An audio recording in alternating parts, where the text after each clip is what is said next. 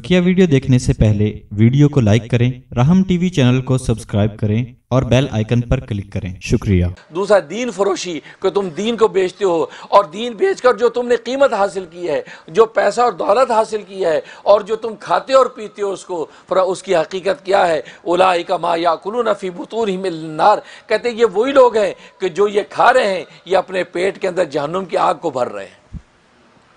क्योंकि ये जो तुमने खाया है, जो ये पैसे बना के और तुमने कुरान की आयतें बेच के खाया है, फरमाया कि ये हकीकत में आग खा रहे हो।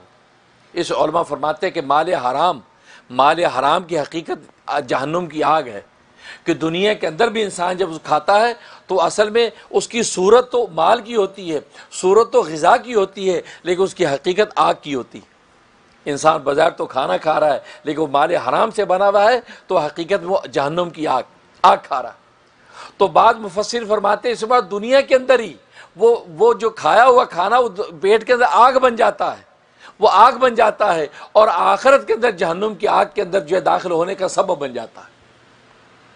और दूसरे मुफसर फरमाते इसका मतलब है कि दुनिया में तो बाज़ार वो गज़ा खाते हैं, रोटी और सालन खाते हैं कौरमे बिरयानी खाते हैं, कपड़ा लत्ता पहनते हैं, लेकिन हकीकत इसकी क्या है, आखिरत के अंदर ये खाना पीना उनको जहन्नुम की आग के अंदर दाखिल करेगा।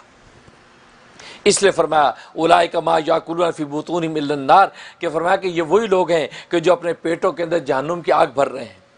वला युकल्ला योमल क़्यामा, दुनिया के अंदर ये इन पर अदाब कि ये जहनुम की आग खा रहे हैं। और आखरत के अंदर एक अदाब क्या होगा कि अल्लाह तबारक व ताली इनसे शफकत और मोहब्बत के साथ कलाम नहीं करेगा।